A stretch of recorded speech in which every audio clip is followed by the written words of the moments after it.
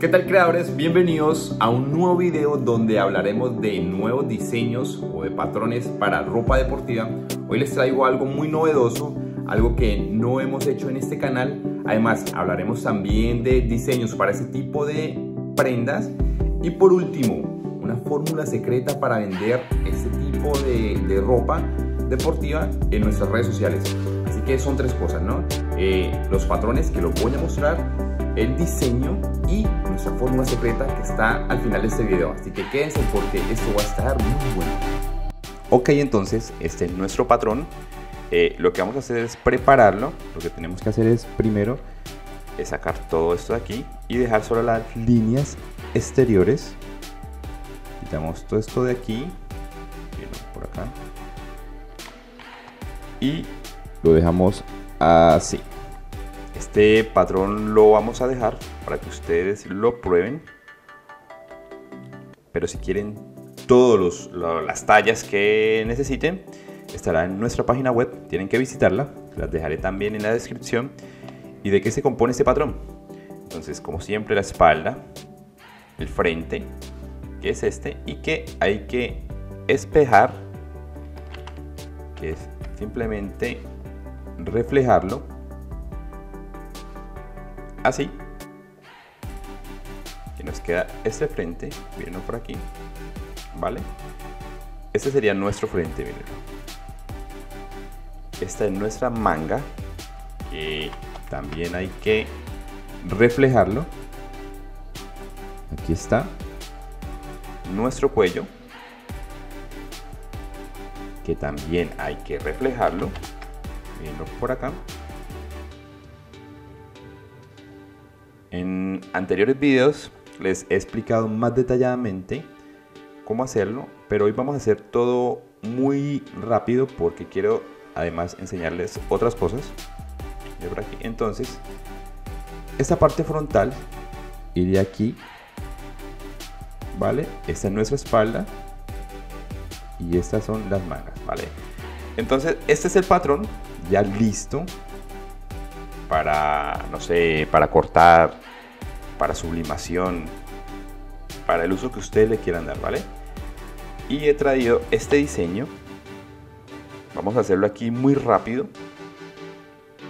¿Cómo hacemos un diseño de estos?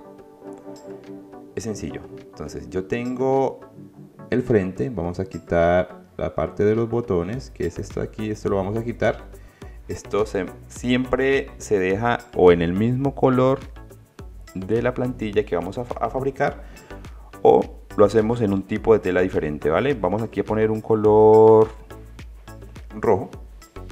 Así está bien, ¿vale? Y aquí vamos a diseñar una plantilla como esta. Como esta que tenemos aquí. Lo que hacemos es, yo creo siempre un cuadro aquí hielo, algo así, así está bien. Vamos a rellenar de color, esto es como un café. Vamos a ponerlo de este color. Así está bien. Listo. Vamos a crear líneas. Vamos a hacerlo muy rápidamente así. Vamos a crear estos rectángulos. Estos rectángulos de este mismo color. Ok quitemos este delineado y dejamos líneas así.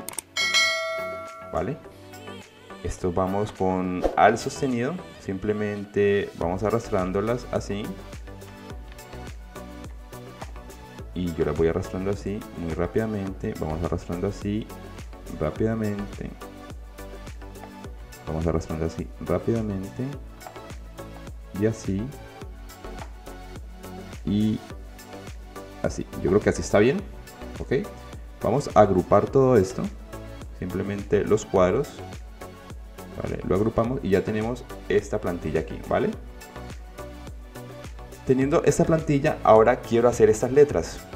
Yo tengo una fuente que es especial para béisbol que se llama vamos a escribir aquí primero algo digamos que vamos a escribir eh, YouTube, ¿vale? Vamos a hacer una casaca con YouTube. ¿Listo?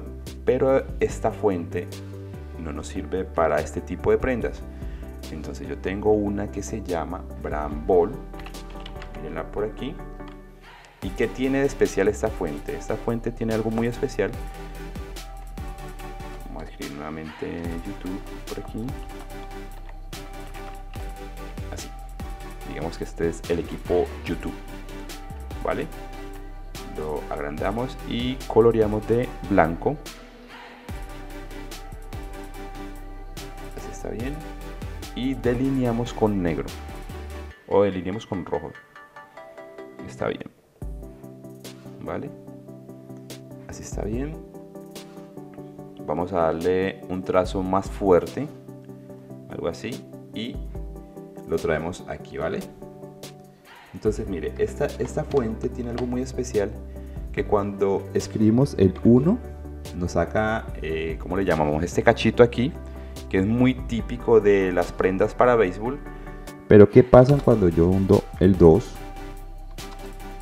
o el 3 o el 4 se va siempre alargando más y le va dando un, diseño, un acabado más, más chévere a ese tipo de prenda, ¿no? Entonces ya tenemos nuestra plantilla, ¿vale? Mírenla cómo se ve encima del patrón. El patrón está debajo, ¿vale? Entonces, ¿cómo hacemos para que esto quede en el patrón? Primero que todo, vamos a agrupar estas letras, esta fuente con la plantilla, la agrupamos y ya tenemos nuestra plantilla. ¿ok? Y a esta prenda, voy a eliminarlo por aquí. Y a esto voy a quitarle esto de aquí, este, esta línea que tiene aquí, voy a quitarle esta que tiene aquí y voy a quitarle esta que tiene aquí. Ok, ahora vamos a preparar nuestra plantilla para sublimación, lo que tenemos que hacer es crear una máscara de recorte. ¿Y cómo lo hacemos? Simplemente seguimos un proceso. ¿Vale? Unimos estas dos prendas, digamos plantilla y el patrón. Ubicamos el patrón, que es este. ¿Vale?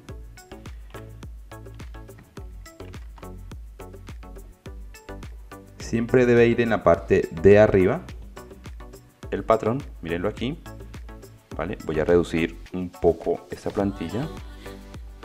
Yo creo que así está bien. Ok, listo. Vamos a reflejar una vez hayamos hecho nuestra marca, máscara de recorte. Mírenlo así y así nos queda nuestro patrón, ¿vale? Mírenlo por aquí. El lado izquierdo ya nos queda listo para sublimación pero ahora necesitamos nuestro lado derecho. Lo que vamos a hacer es simplemente copiamos nuestro patrón, control C y con control B, luego clic derecho en transformar y damos reflejo. Damos OK y aquí nos queda nuestro lado derecho de nuestra casaca de béisbol, ¿vale? Listo, lo tenemos aquí. Ahora vamos a sacar esta plantilla que tenemos aquí, control C y con control B la tenemos, perdón, corrijo, con control C y control F la tenemos allí, ¿vale? Miren aquí. Subimos hasta acá y ya tenemos nuestra plantilla fuera, ¿vale? y también creamos una máscara de recorte miren aquí y aquí nos queda nuestra casaca de béisbol vale listo esto por un lado aquí lo tenemos ya listo en nuestra casaca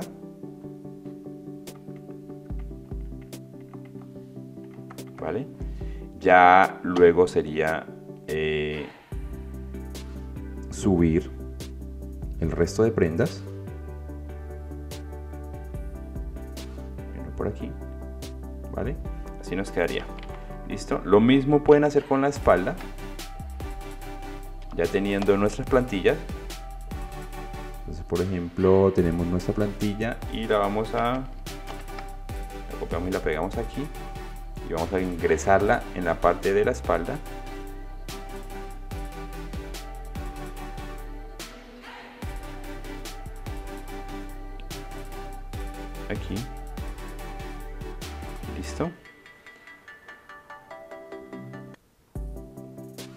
Subimos nuestro patrón como siempre.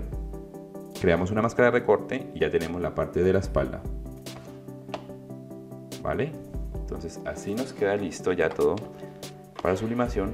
Lo mismo hacemos con las, con las mangas o simplemente eh, añadimos un color como estamos utilizando el rojo lo hacemos así vale esta es la parte trasera de nuestro cuello y listo. Así nos quedaría. Y bueno, nuestro tercer paso ahora es crear este, este diseño, pero como en forma de 3D o simplemente para promocionarlo en redes sociales. Les voy a decir cómo. Y bueno, con Photoshop abierto, eh, vamos a abrir un mockup de béisbol. Mírenlo por aquí el cual vamos a poder promocionar en nuestras redes sociales con nuestros diseños. Por ejemplo, habíamos creado un diseño, ¿recuerdan el de YouTube? Entonces vamos a abrirlo. Listo, aquí simplemente lo que hacemos es colocar nuestra plantilla. Esta que habíamos hecho, mirenla por acá. Vamos a ingresarla aquí. Vamos a ajustarla al tamaño de nuestro mockup por acá eh, así. Y así vale vamos a darle ok. Control s para guardar. Y vamos a mirar qué tal nos queda nuestro mockup. Ok miren cómo queda. Eh, ahora vamos a darle un color rojo. Recuerdan que era el color del frente. Mírenlo así O simplemente ustedes encima de la prenda pueden poner el diseño, pero nos va quedando así.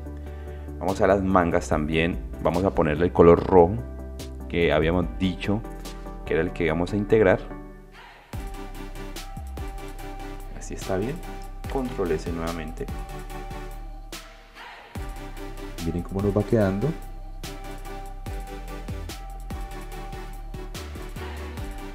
Nuevamente por acá, la manga izquierda, un color nuevo por aquí, control S para guardar los cambios y listo. Así nos queda nuestro diseño. Vamos a poner un fondo eh, negro, algo oscuro, así, para que se vea mejor. Y así nos queda. Ya ustedes juegan con la imaginación, ponen su logo en la parte superior, eh, números de teléfono, donde quieren que los contacten para poder vender este tipo de prenda. Y esto es todo. Mírenlo por aquí. Aquí está el patrón. Y por aquí el diseño. Y bueno, esto es todo. Espero les haya gustado este video. Espero les haya servido. Y por favor suscríbanse y denle un like a este video para que YouTube nos recomiende y podamos crear más contenido. Muchas gracias y chao chao.